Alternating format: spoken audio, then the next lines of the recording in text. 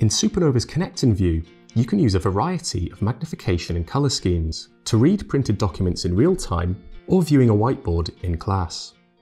This allows you to read and alter your text on the computer without having to move the document underneath your camera or lose track when viewing a PowerPoint presentation.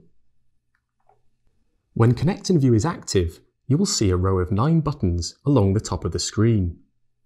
These buttons will allow you to tailor Connect and View to fit your eyesight. These buttons will also exist if you are using Connect and View to view an interactive whiteboard.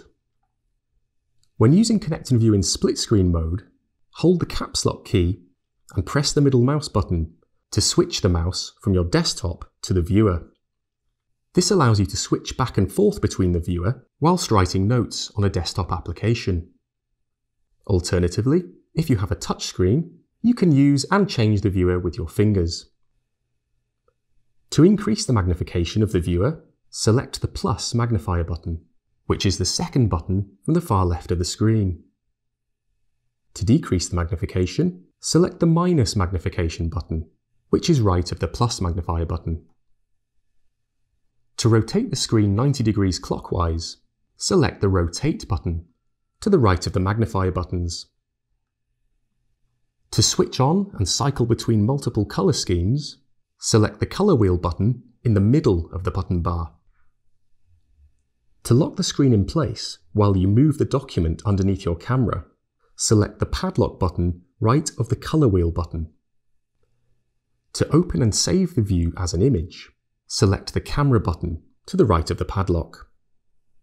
And to scan and read the text on the document, select the Scanner button, which is to the right of the Camera button.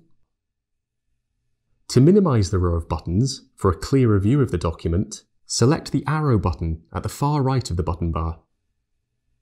You can return the buttons at any time by clicking the arrow button again, which is now at the far left corner of the screen. And finally, to exit Connect and View, select the red cross button at the far left of the screen.